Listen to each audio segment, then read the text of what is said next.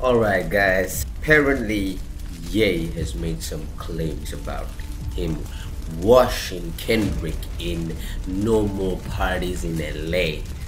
Uh, so I'm gonna test it out right now and give it a listen because I don't really think that's true, but alright.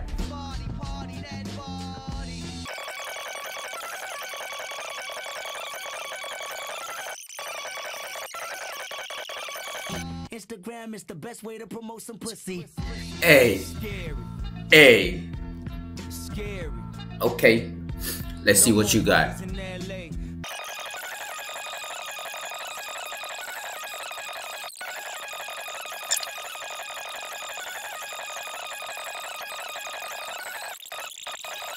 Friends tell all my cousins I love them, even the one that stole the laptop, you dirty motherfucker. I just keep on loving you, baby.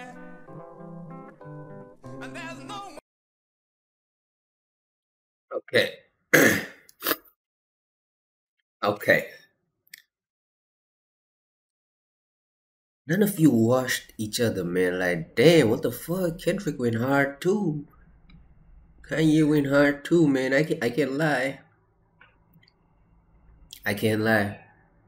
They both on that level, you know. I don't know. Maybe, maybe Kanye's is a little better, little, but I don't know. I could say the same for Kendrick as well. I don't know, man. They're equal, man. I don't know why. what the fuck, man. Kanye, calm your ass down, man. Nah, man. You did not wash Kendrick, my guy. You did not wash Kendrick here. I gotta give it to you. Your voice was good, but nah, man, you didn't.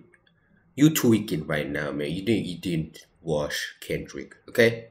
Anyway, let me know if you want more videos like this. Finish my cup of coffee. You know, let me know.